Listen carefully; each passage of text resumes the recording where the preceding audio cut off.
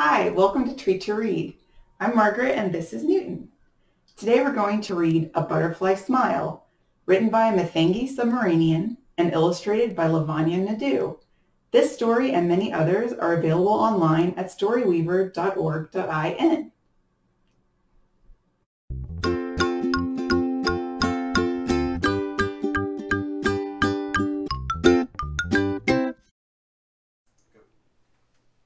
Line up, class. Let's go to the park, Layla Miss says. All the students hold hands, chattering away. Kavya stands by herself. As they start walking, Layla Miss asks, Does anyone know what a caterpillar becomes when it grows up? Kavya's stomach flips. She knows the answer. Should she say something? Kavya and her family have just moved to Bengaluru from her village. They live at the construction site where her parents work. It's hard living in a half finished house. The air smells of smoke, and the honking traffic makes it hard to sleep. The towering buildings, zooming cars, and busy people make her feel very, very small. Kavya has been coming to school for a week. She still hasn't spoken to anyone. What if they make fun of her accent or tease her because she's never been to school before? Kavya takes a deep breath and raises her hand. In a noisy city like Bengaluru, she can't be quiet forever. When caterpillars grow up, they become butterflies, Kavya says. That's right, Layla Miss says. Caterpillars are only caterpillars for a few weeks, Kavya says. They spend that whole time eating leaves. They must get very big, says Mary, her classmate. They do. After they eat and eat and eat, caterpillars weave cocoons on the sides of plants. They go inside where they grow and change, says Kavya. That's correct, Layla Miss says.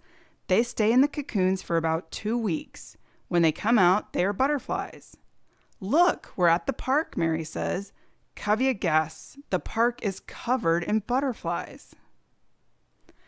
Blue butterflies, the color of rivers, yellow butterflies the color of sunlight, orange butterflies the color of ripe chickoos, black and white butterflies the colors of starry skies. These are all the colors Kavya misses from her village. She feels her heart flutter. Every year, butterflies travel thousands of kilometers to come to this park. They are here for more food, better weather, and a safe place to lay eggs, Layla Miss says. This journey is called migration. Don't they get tired flapping their wings for so long? A classmate asks. If there's a strong wind, they don't have to flap their wings, Kavya says. They spread their wings and glide.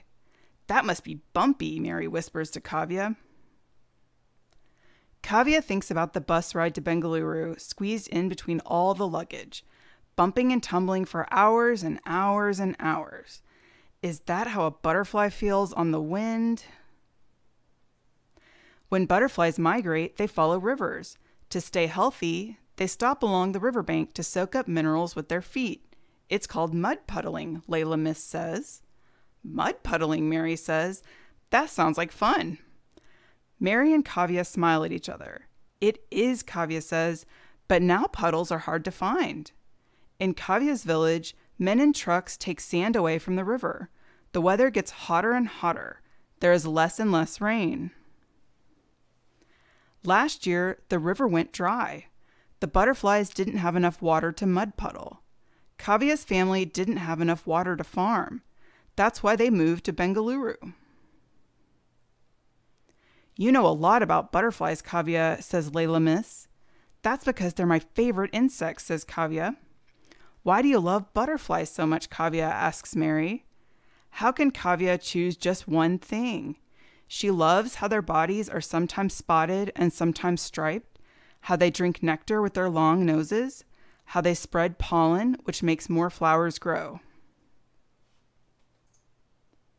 They fly far, but wherever they land, they make new friends, Kavya says, squeezing Mary's hand. They're very small, but they're also very brave, just like you, Layla Miss says. Kavya smiles as wide as a butterfly's wings. Here's how to make a butterfly rest station. Butterflies in India migrate twice a year. Their journey is getting harder and harder because our forests and rivers are disappearing. Butterflies don't have enough places to rest. Many get tired along the way. One way to help butterflies is to make safe spaces for them to stop and have a good meal. Here's how to make a butterfly rest station. Find a flat vessel with high edges, like a thali or a plate. Butterflies love bright colors. Paint the vessel red, yellow, or orange. Fill the vessel with butterfly food. It's easy to make. Mix 4 cups of water with 1 cup of sugar. Add pieces of overripe fruit. Butterflies love bananas, guavas, mangoes, papayas, and oranges. Keep the vessel out on your veranda, windowsill, or anywhere outside. Clean and refill the vessel every two to three days. To attract even more butterflies, plant flowers that butterflies love. You can plant verbena, geraniums, dahlias, or sunflowers. You don't need a lot of space. You can plant them in pots on the ground or keep them on windowsills.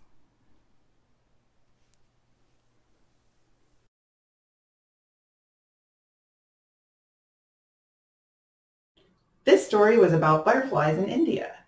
North America has butterflies called monarchs that complete a similar migration. I've included a link below the video to learn more about monarch butterflies. Thanks for reading along with us. Find more at treattoread.com.